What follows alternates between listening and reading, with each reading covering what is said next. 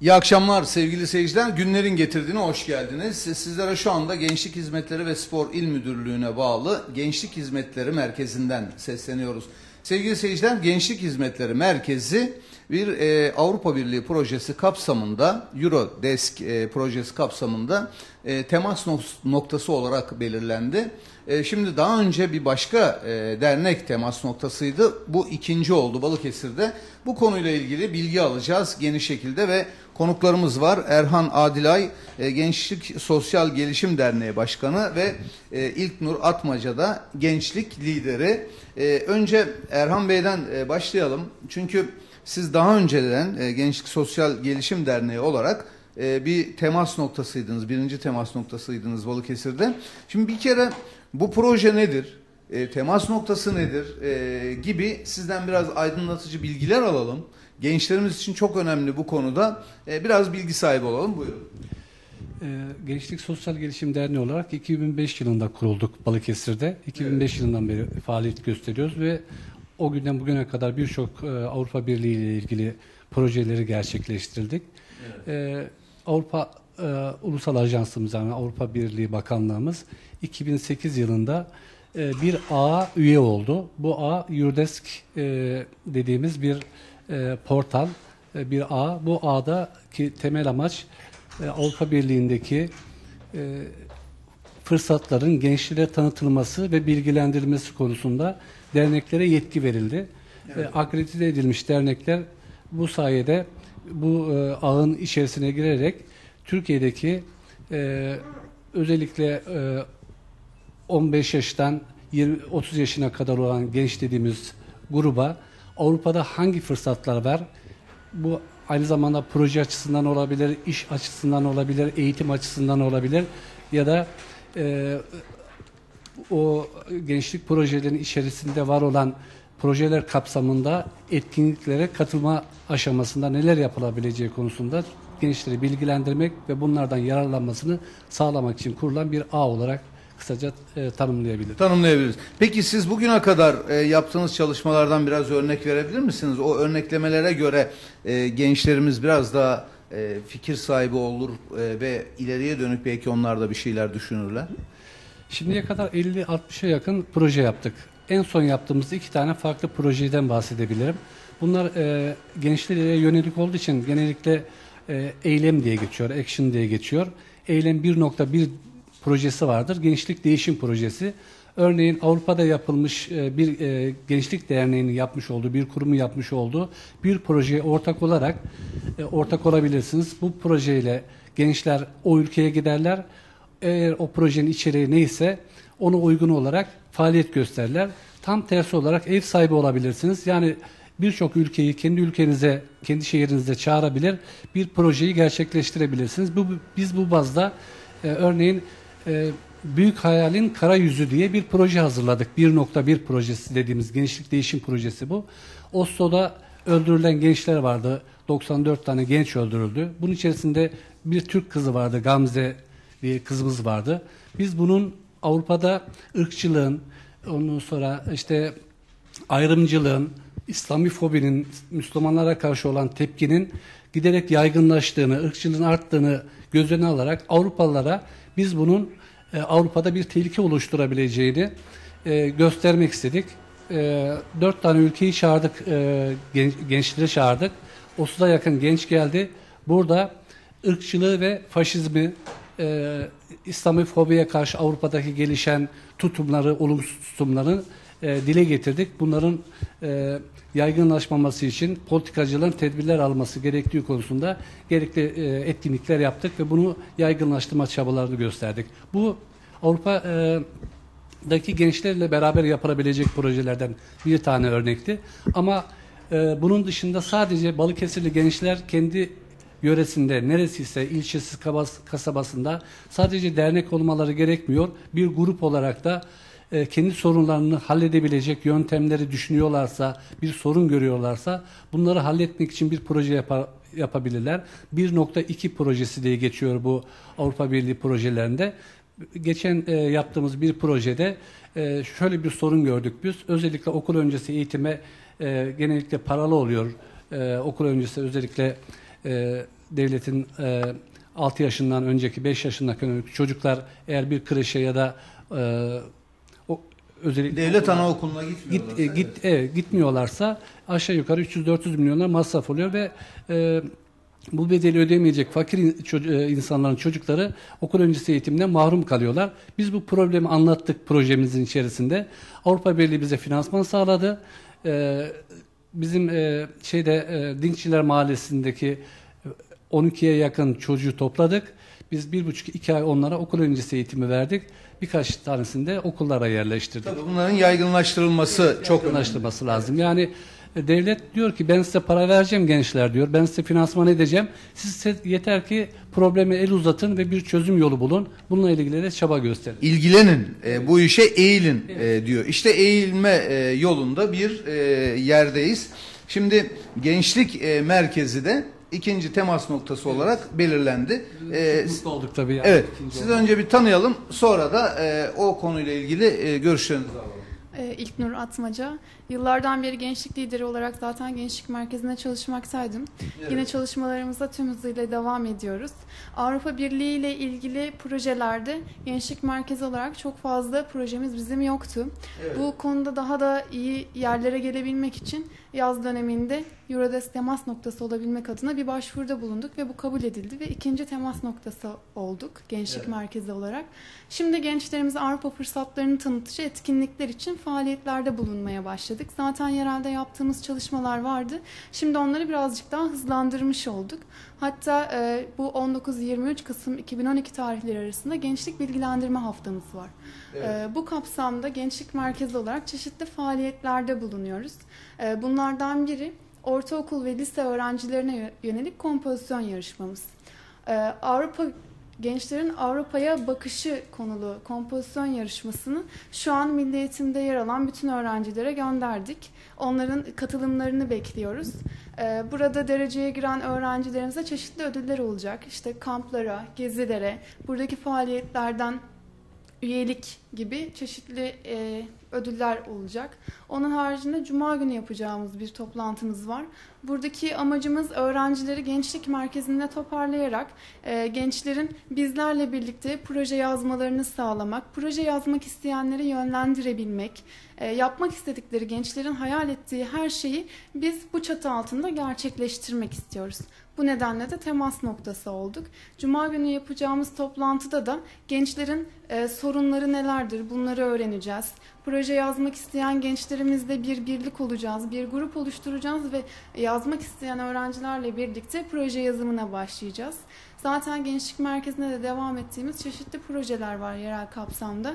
E, yer almak isteyenler e, o projelere dahil edilecek. Yeniden Avrupa ile ilgili projeler yazmak isteyenlere de bu konuda Eurodesc ile birlikte diğer kurumlarla birlikte ortaklaşa hareket edeceğiz. Şimdi sizin e, hareket noktanız da yani e, size gelmek isteyenler de 15 yaşının üzerinde mi olması gerekiyor? E, tabii proje bazında bunların de- e, değişikliği oluyor. Yani e, Avrupa Birliği 13'ten 30'a yakın e, grubu genç olarak temsil ediyor. E, gençlik projelerine destek veriyor. 30'dan büyük e, kişiler sadece liderlik yapabiliyorlar bu projelerin içerisinde. E, tabii ki e, küçük gruplara doğru gittikçe bunların olurların alınması, ailelerin e, yetkilendirilmesi ve yurt dışına çıkış, çıkışlarında problemler teşkil ettiği için daha çok 18 e, 25 yaş arası yoğunluklu olarak bu projelerden yararlanan gruptur. Ama bir sınır yok. 13'ten e, 30'a kadar e, gençler bu projenin içerisinde yer alabilir. Hiçbir ücret ödemeden e, devletin vermiş olduğu bütçeyle, katkıyla her türlü Avrupa ülkelerine gidebilirler. Oradaki etkinliklere katılabilirler. Hatta bunun bir boyutu var. Mesela e, Eylem 2 dediğimiz e, Avrupa Gönüllülük Hizmeti boyutunda bir yıl boyunca ya da 6 aya kadar kısa dönem dediğimiz 6 aya kadar yabancı bir ülkeye gidebilirler. Devlet bunların bütün yeme, içme ve harçlıkları dahil, ceplerine koyacak harçlıkları da devlet tarafından karşılanır. Ceplerinden eğer e, e, lüzumsuz harcamalar yapmıyorlar. Özel harcamaların dışında her şeyi karşılıyor. Her şey karşılanabilir.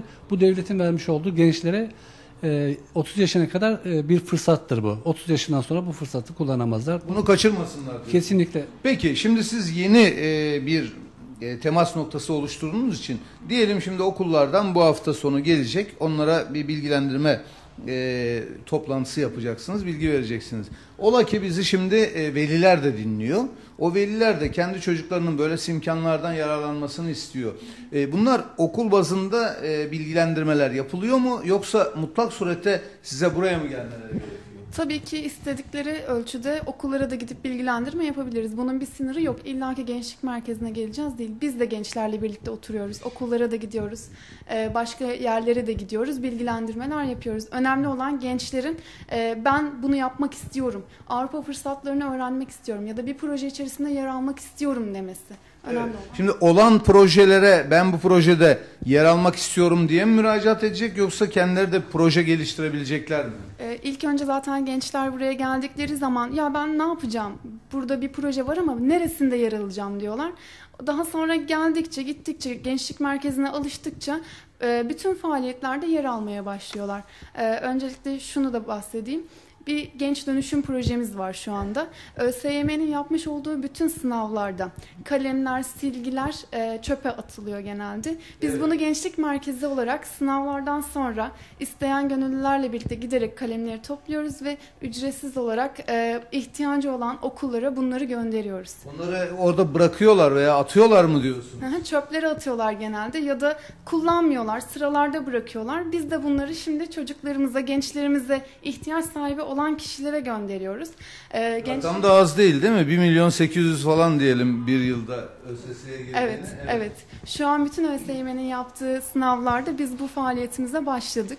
Onun haricinde yine farklı projelerimiz var. Duymayan kalmasın diye bir projemiz var. İnternet üzerinden bir e, web sayfası oluşturacağız ve gençliğin yer almak istediği bütün etkinlikleri burada yer vereceğiz.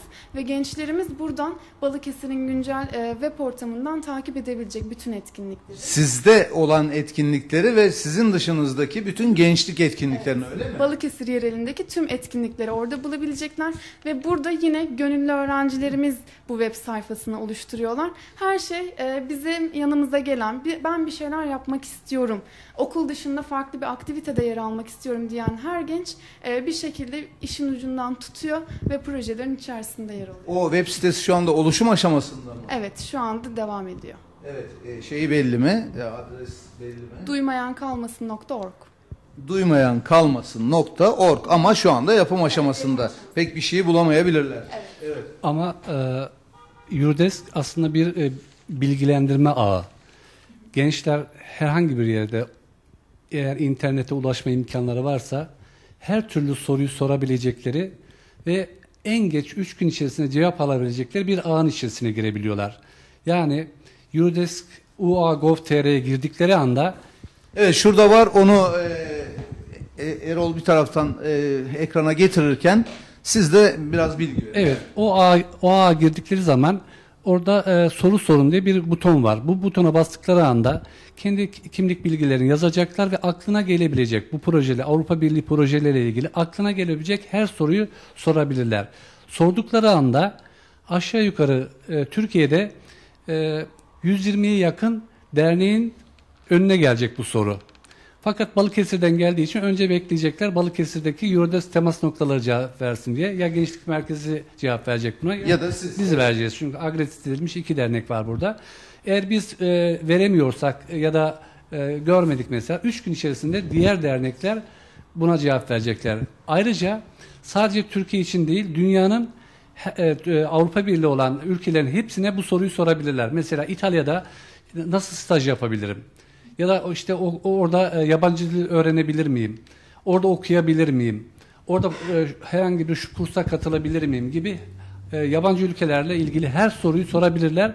Çünkü bizim orada e, ortak olduğumuz bir sürü Eurodesk temas noktası var. Biz bu soruları yabancı dile çevirip o ülkenin temas noktalarını soruyoruz. Oradan alan cevapları alıp tekrar şeylere ulaştırıyoruz. E, Soru soran kişilere ulaştırıyoruz. Yani kişiler adım adım bütün projeleri Eurodesk temas nokta- noktasına e, noktalarına UAGOV.tr'deki masaya sorarak da e, kendilerine bir yol bulabilirler. Yol- Aslında burada benim anladığım kadarıyla e, sizi biliyoruz o projelerle e, yıllardan beri o projeleri gerçekleştiriyorsunuz ama böylesi bu imkanlar e, pek fazla, yeterince daha doğrusu değerlendirilmiyor gibi bir izlenim var bende. Ne diyorsun?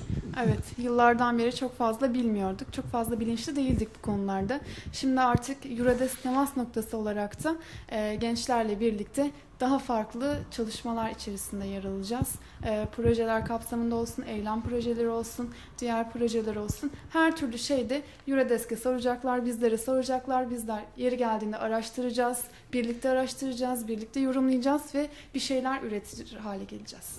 Bir de e, burası zaten gençlik merkezi olarak gençlerin e, Eurodesk de olabilir başka bir şey. Bir uğramalarında fayda var. Buraya uğradıklarında kendilerine bir şey bulacaklar burada. Yıllardır zaten sosyal kültürel anlamlarda e, çalışmalar yapılıyordu. Ancak Avrupa bazında çok fazla çalışmamız yoktu. Gençler çok fazla Avrupa e, kanallarında neler yapabilecekleriyle ilgili bilgiler yoktu. Şimdi hep birlikte bunları başlayacağız. Evet. Öyle mi Erhan Hocam? Ne diyorsun?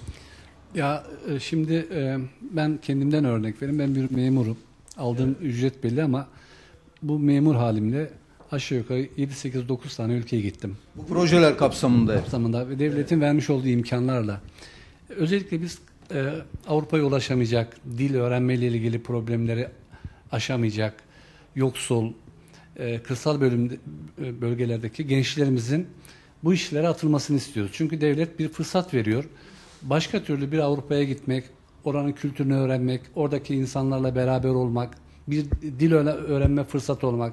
Avrupa'da herhangi bir ülkeye gitseniz, dil öğrenmeye çalışsanız paranızla aşağı yukarı 3 aylığı için e, 40 milyarlara yakın bir para harcamanız gerekiyor. Devlet diyor ki ben sana bir yıl gönderiyorum, cebine de harçlık koyuyorum diyor. Yani bunu değerlendirmesi lazım bizim Bu çocuklarımız. fırsatları kaçırmamak lazım. Evet, kesinlikle. Bir de aileler acaba çocuklarımızı oralarda yapamaz edemez diye bir öyle bir endişe içine mi düşüyorlar? Tabii biz e, nedense fazla koruma içerisindeyiz çocuklarımızı. Hep tedirginlik duyuyoruz. E, gelen yabancılar var. Yüze yakın genç geldi bizim Balıkesir'imize. Onları ağırladık ev sahibi olarak. Onların aileleri de bu sıkıntılar içerisinde gönderiyorlar. Yani onlar da tedirginler. Türkiye'ye gidecekler, nasıl kimlerle karşılaşacaklar, nasıl sorunlarla sürekli tedirginler. Fakat buraya gelip güven içerisinde olduklarını görünce çok mutlu oluyorlar. Avrupa'da gerçekten mesela ben kendi kızımı Portekiz'e gönderdim. Bir ay bu projelere katıldı.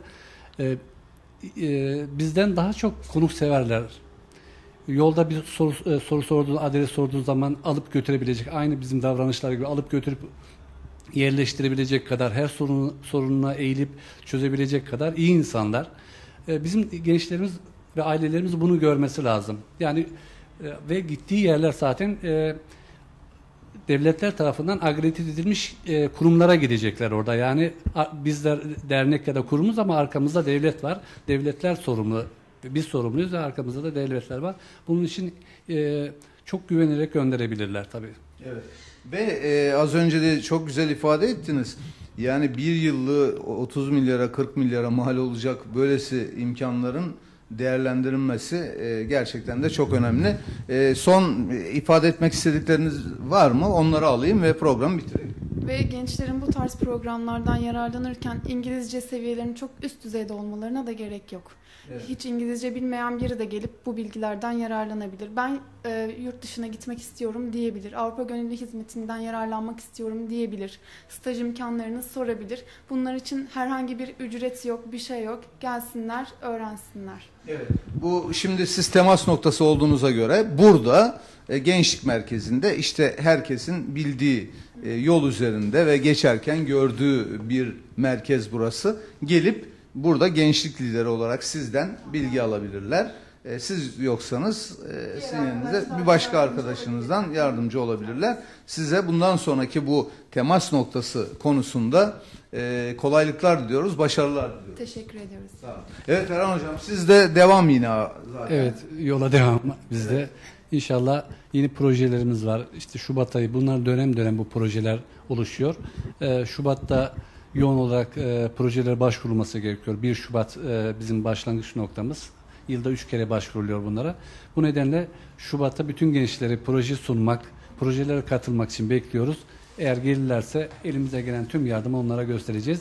Dernek olmalarına gerek yok. Grup e, sadece grup olmaları da yeterli. 4-5 tane mahalledeki genç bir ara gelip bu projeyi de gerçekleştirebilirler. Yeter ki istesinler. Evet. Evet sevgili seyirciler bugün e, Gençlik Hizmetleri Spor İl Müdürlüğü'ne bağlı Gençlik Merkezi'nde e, bulunuyorduk, bulunduk. E, ve burada e, birinci temas noktası e, Gençlik Sosyal Gelişim Derneği'nin e, birinci temas noktası olduğunu zaten daha önceden biliyoruz. Şimdi burası da Gençlik Merkezi de ikinci temas noktası olarak belirlendi Eurodesk e, tarafından. Gençlerimiz buraya gelsinler. Bizim de son sözümüz bu olsun. Böylelikle bugünkü programımızın sonuna geldik. Sizlerle tekrar birlikte oluncaya dek hepinize iyi akşamlar diliyorum efendim. Hoşçakalın.